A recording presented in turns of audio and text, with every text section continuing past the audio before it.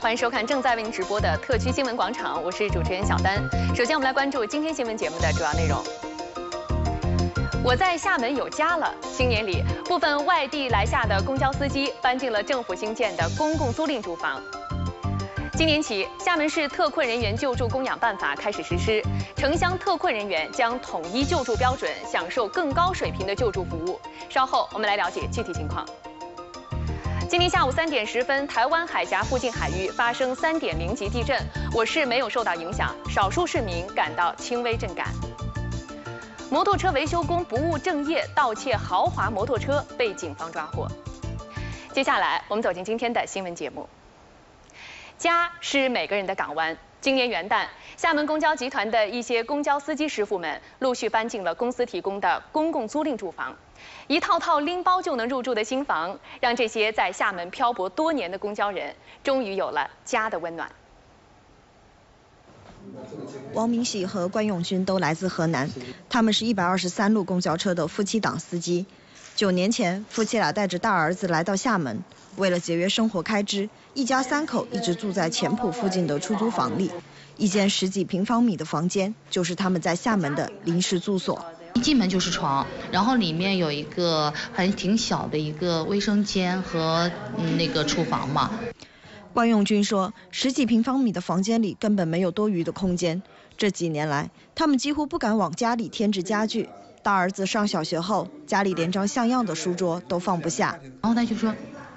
妈妈，我头痛，我一写作业就特别闷、压抑，哈，就特。但是我说真的没办法，儿子，我说咱们先慢慢，就几年吧，等生活环境就是条件好一点嘛，我们再住好房子嘛。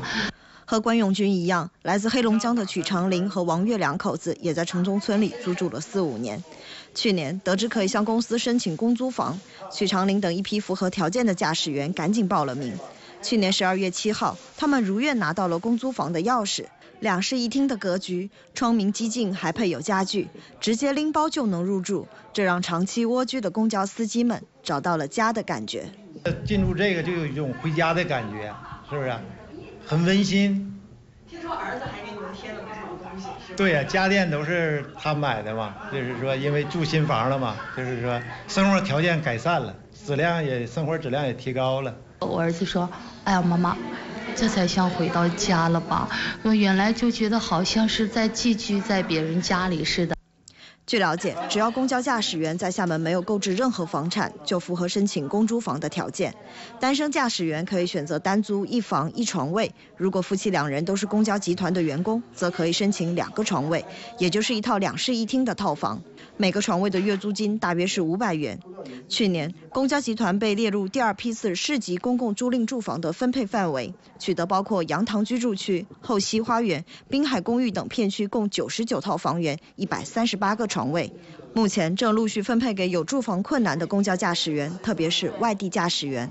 就这种房子，呃，像对我们来说就是一种向往和憧憬吧。现在，王明喜和关永军的小儿子可以在宽敞明亮的新家里快乐成长，许长林和王月也能在辛苦工作了一天之后，有个舒适的家让他们好好休息。乔迁新居和家人团聚，这个新年，这些多年来下打拼服务的公交人，终于在厦门安家了。记者谢从兵、高志强报道。从今年一月一号开始，厦门市特困人员救助供养办法正式开始实行。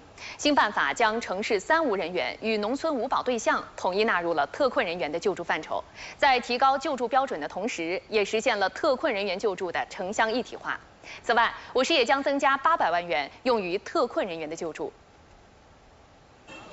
特困人员是指具有本市户籍的老年人、残疾人和未成年人，同时具备无劳动能力、无生活来源、无法定赡养抚养义务人或者其法定义务人无履行义务能力这三个条件，也就是我们所称的“三无”人员。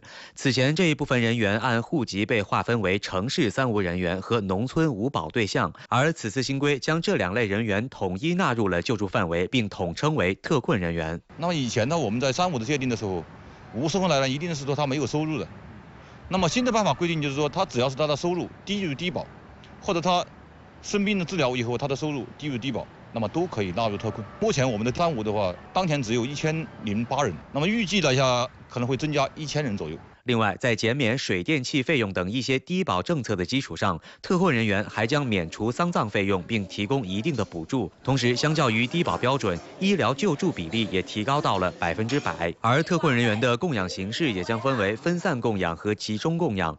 对于生活不能自理的特困人员，可自愿选择在我市各区福利中心集中供养，也可以居家或者在社区进行分散供养。主要集中在我们市里面的福利中心，有一百多人。那么各个区的集中供养的人数不是很多，目前呢只有三十几个，还是以这个社区居家的比较多一点，分散供养比较多一点。那基本上分散供养可能达到百分之百分之六七十吧。民政局工作人员表示，在新办法实施后，过去城乡特困人员供养补助标准不同的情况，也将统一调整为不低于低保标准的百分之一百四十，并根据各区实际增加了相应的住院护理标准。申请政府救助供养的特困人员，可以由本人向户籍所在地街镇提出书面申请，也可以委托居委会代为提出申请。记者熊伟、黄超报道。我们再来关注汽车消费。我们节目之前报道过，集美、后溪两家汽车 4S 店关门跑路，湖里一家 4S 店又出现抵押汽车合格证的新闻。近两年来，汽车消费投诉是越来越多。市市场监督管理局除了启动针对汽车市场的专项联合执法检查外，也在积极创建汽车规范经营示范店。近日，又有八家汽车 4S 店被正式授予规范经营示范店。据统计，截至二零一六年底，全市机动车数量已经达到一百四十二万辆。随着汽车保有量的不断增加，汽车消费投诉也越来越多。之前我们节目曾经报道过，市民邱先生在湖里一家 4S 店购买了一辆新车，可是汽车的合格证却被 4S 店抵押给了银行，导致邱先生提车后却无法给新车上牌。其实像邱先生这样在购车过程中出现的消费纠纷不在少数。据统计，二零一六年我市发生的汽车消费投诉就有八百一十三起，市市场监督管理部门依法查处了十一起违法经营行为，目前已经结案九起。罚没款共计一百零四点四万元。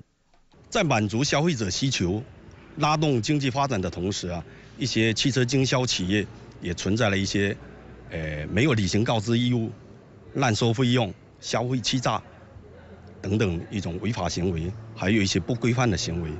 为进一步规范汽车销售市场的秩序，市场监督管理部门除了加大对汽车流通市场的监管力度外，市市场监管局还联合汽车流通协会开展规范经营示范店的创建活动。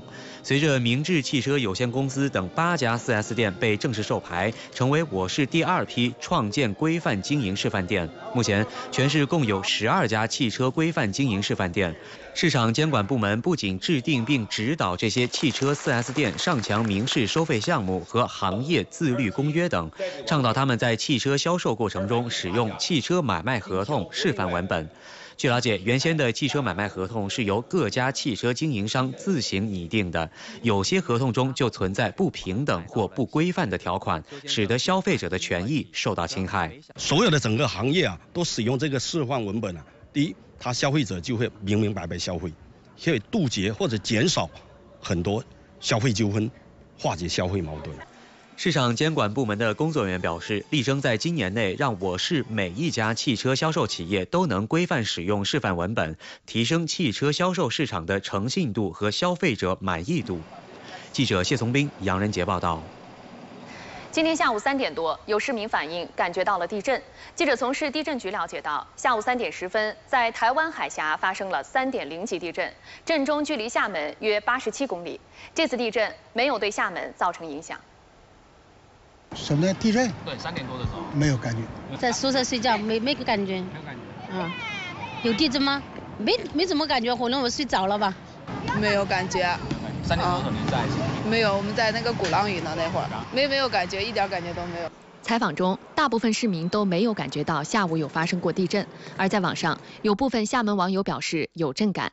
记者从市地震局了解到，今天下午三点十分左右发生了三点零级地震，震中位置位于台湾海峡海域，震中距离厦门约八十七公里。那么在厦门的话，嗯嗯，是极个别人有感，嗯，有感的可能最主要的可能，嗯，都是在这个朋友圈里面有互相的说有一些说法，就说感觉到了地震，震源深度是十二公里，嗯，相对嗯来说它是属于浅源地震。记者了解到。去年十二月十一号，我市附近海域发生过三点二级地震，当时不少市民都有震感。那么今天下午的这个地震，为什么大部分市民都没有感觉到震动呢？地震专家表示，这次地震对厦门的影响约为两度，再加上距离相对较远，只有特别敏感的人在完全静止的状态下才可能感觉到。因为像这个点整源深度十二公里，然后震中距的话达到了八十八十多公里这样子的一个距离的话，它虽然震级是三点零，但是这个应该说是极个别静止的人才有感。记者何红玲、王汉阳报道。我们再来关注非法营运。上周我们栏目关注了在菜塘学校公交站前非法营运车辆连排停靠招揽生意的新闻。那么在今天上班早高峰的时候，那儿的非法营运违停拉客现象是否依旧呢？上午市交通综合行政执法支队兵分多路，在蔡塘学校公交站周边开展非法营运专项整治。交通执法，一下车配合一下来。经过了半个多小时的侦查，上午八点，这辆四川牌照的小型越野车在吕岭路上被两辆执法车一前一后拦截住。当时车上载着两名乘客，乘客告诉执法人员，他们是在菜塘学校公交站跟驾驶员商量，以每人十五块的价格后，准备乘车前往观音山。有坐过，那司机是在那边有有有问吗，还是什么？有问一下，然后就上了。是到那边是怎么怎么个收费？十来块钱吧，一般。就具具体一点，就是说十多少？十块或十五块吧。执法人员查询后发现，这辆车属于私人车辆，没有营运资质。交通执法人员依法暂扣了车辆，驾驶员也因为涉嫌非法营运，将面临着两万元以下的罚款。这位女司机呢，在这个菜塘广场的呃菜塘学校的这个公交车站呢，那么她那个有下车进行揽客。那根据呃乘客的反映，他是他们大部分都是去那个观音山的，司机呢是给他们开价十五块钱，那这个相对来讲也就跟比较一个固定的一个价格。执法人员告诉记者，这些黑车为了躲避交通执法、交警部门的查处，在下课时会刻意将后备箱打开，而且这些车辆非法营运时一般都是在上班的早高峰，执法部门在之前查处时会给吕岭路的交通造成一定的影响。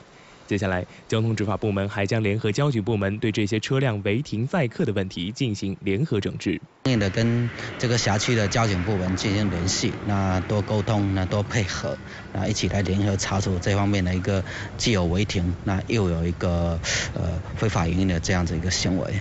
记者闲云杨仁杰报道。快速公交也被称作 BRT，它是市民群众日常出行的重要交通工具之一。在遇到突发险情时，工作人员的应急处置能力就显得尤为重要。为了提高车站工作人员的应急快速反应能力以及熟练使用安全装备的能力，今天下午在东方山庄 BRT 停车场，市公安局公共交通分局组织 BRT 场站工作人员开展了一场应急处置演练。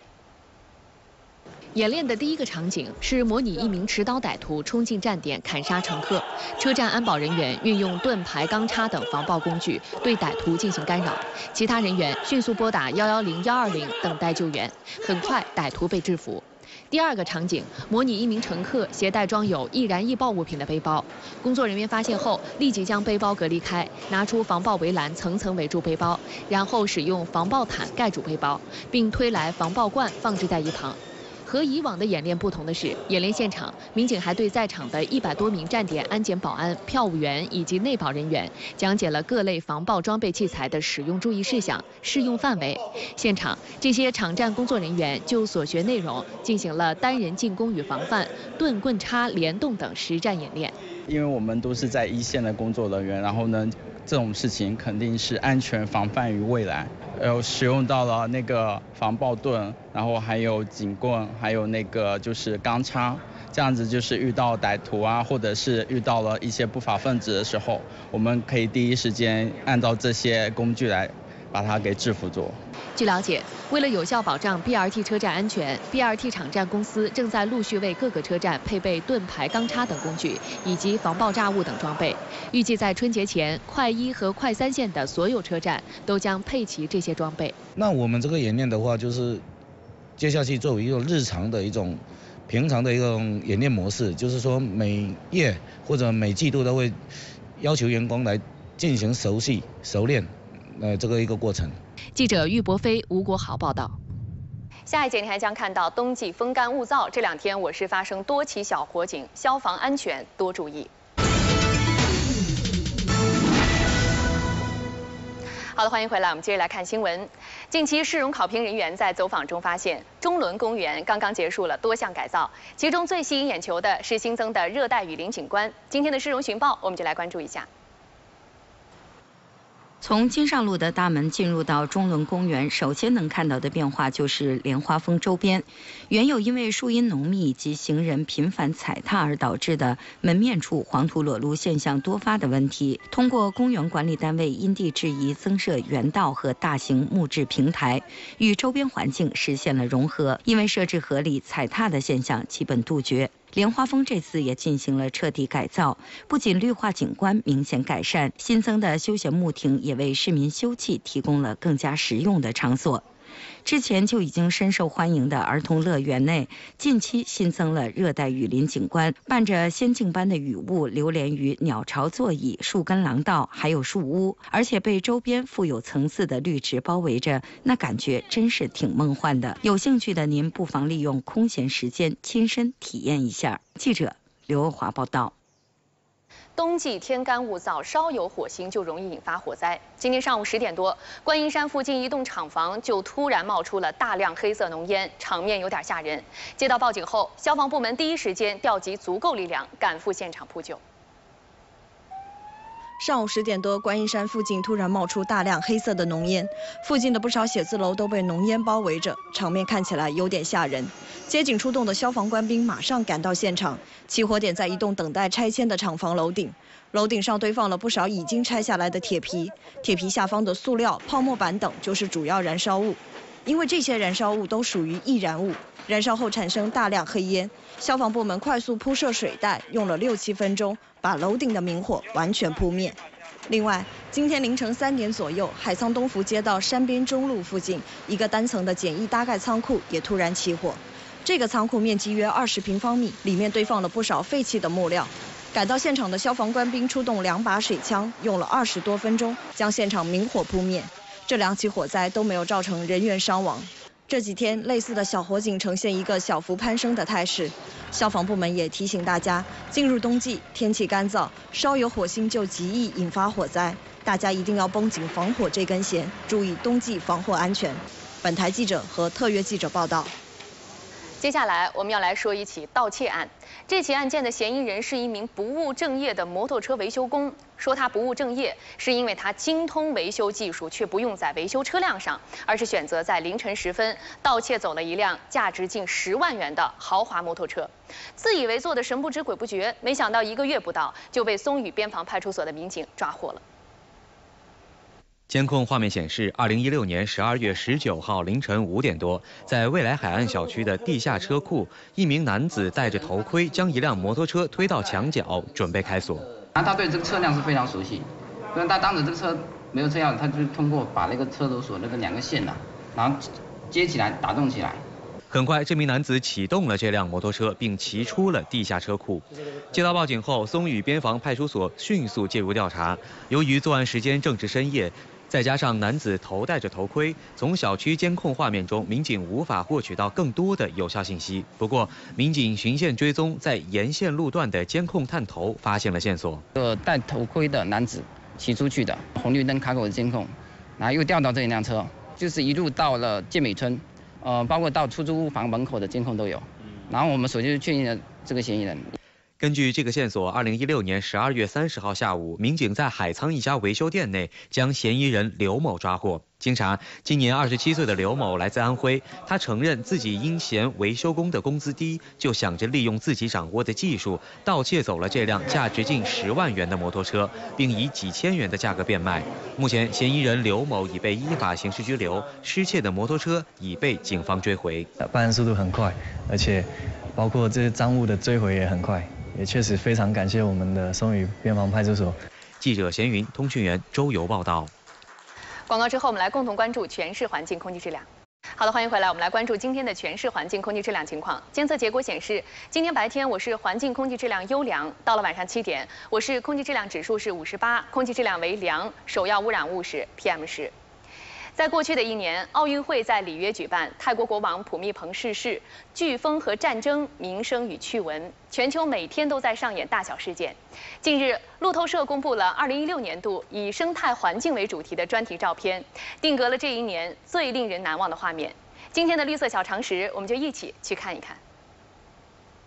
一月二十三号，暴风雪肆虐华盛顿，一名男子艰难前行。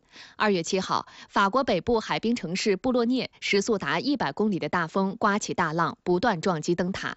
三月四号，印度北部阿拉哈巴德市，一名男子提着两个装满水的水桶走在恒河岸边。印度大约六点五亿人无法获得干净的饮用水，面临感染疾病和过早死亡的风险。六月十九号，中国台湾的一名渔夫在小船上用火光吸引小鱼。八月一号，人们在中国湖南省张家界的观景台上行走，欣赏壮美的风景。八月十二号，船只在中国青海省海西州的茶卡盐湖航行。八月十四号。在已经干涸的皮科马约河河床上，发现一条凯门鳄尸体。皮科马约河位于巴拉圭博克隆。九月七号，奥地利西部的格纳登瓦尔德村，鹰头山谷被浓雾覆盖着，太阳从亨德斯高夫山后徐徐升起。十月二十号，靠近瑞士格朗沃的拉沃地区，一群鸟儿在秋日的早晨飞过莱蒙湖。十一月二号，拍摄到的位于澳大利亚南部区域，靠近博斯的盐田和大坝。十一月十一号，巴西环保署协同军队警察，在位于帕拉的诺乌波罗戈莱索地区打击非法采矿和砍伐树木。下面我们再来关注明天厦门的环境空气质量情况。今天夜间至明天白天，大气污染扩散条件一般，受污染物区域性传输影响，预计明日我市空气质量等级为良，首要污染物为细颗粒物 PM 二点五。好的，以上就是今天特区新闻广场的全部内容了。中国语言生活状况报告二零一六指出，我国的方言正面临着不断减少甚至消失的局面。那么，咱们闽南话目前的情况如何呢？我们又该如何保护和传承闽南话呢？请您收看稍后播出的《十分关注》，我是小丹，再见。